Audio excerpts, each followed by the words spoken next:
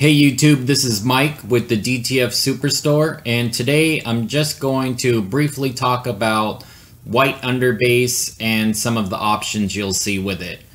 I already have some artwork dropped in, so I'm going to right click, open my properties, go down to color layer and profiling options. So with direct to film, most likely you're just going to stick with this underbase option.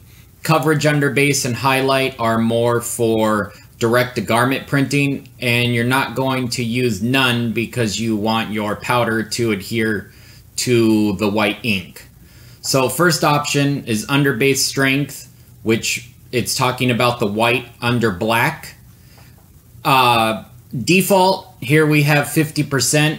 I know some people will say that they prefer it to be a little higher. That's not a problem. There's lots of options. So let's just put this up to 80%. Now again, that's the white ink that's printing underneath black. Next option is maximum ink. I believe by default, CADLink is around 70, but you can crank this up to 100. That's going to give you more white base, and that's going to make more vibrancy on your colors. Uh, choke. So choke is, as you can see here, it says stop white underbase peeking out. So what this does is put a small choke around your artwork so you would not see white peeking out the edges. Uh, I like to use somewhere between 3 and 5. You can go all the way up to 20. Uh, so let's just put this at 4 for now. Uh, and I'm going to jump into Illustrator right now and show you a little more of an in-depth preview of what this looks like. Alright, I'm over in Illustrator now because I just want to demonstrate something and there's a pretty easy way to show you that inside of Illustrator. This doesn't have anything to do with setting up the file, this is just to demo what's going on when you use the choke feature. So here's my print, this is to size. Underneath the colors here is going to be white. Pixel for pixel underneath will be white. I'm clicking this off and on. You can see it's the exact same shape. It's just got the white underneath, no choke whatsoever.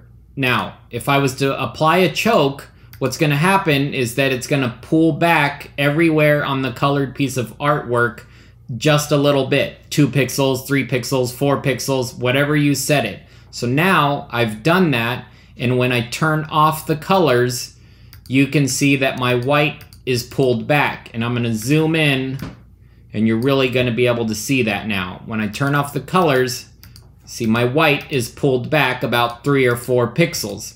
So this is because you may get white pressing out as you're heat pressing and if you don't want that or you see it happening you can just choke your artwork back and avoid that when we're determining where we want our underbase set at, there's a few things to consider.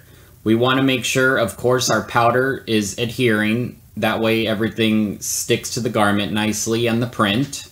We want to, of course, make sure that our print looks good and vibrant, and especially on black or colored garments. And we also want to make sure that the feel of the transfer is something that we like. Some people are more picky about this than others, so we just want to make sure that it's a feel that everyone likes. Um, and then as far as this bottom, treat all semi-transparent as opaque. We usually don't mess with that. Uh, it's the way the white is generated for semi-transparent areas, but this likely is not very helpful for direct-to-film, so we don't usually use this option. And an easier way, and probably my preferred way to access these white base settings is just using the color adjust button on the bottom here. So if you click that, you're going to have a different looking prompt, but most of the same setting options. The first thing to note is these radio buttons. You should be using photo or graphics. Graphics is going to be for your typical vector and raster arts and it's going to give a little kick to the colors. Photo would be if you don't want that kick because adding that color punch may offset the skin tones, so that's when you would use that. Uh, otherwise, you have the same settings here with your underbase, which is our max ink, our choke, our strength with all the options. And the settings here are the same as if you accessed it the other way. So changing it in one spot will change it in both. So I hope this gives a little bit of a better understanding for how the underbase in CAD Link works. Uh, make sure you subscribe to our page because we're trying to crank out these videos for some learning content and get you more familiar in CAD Link. Thanks again.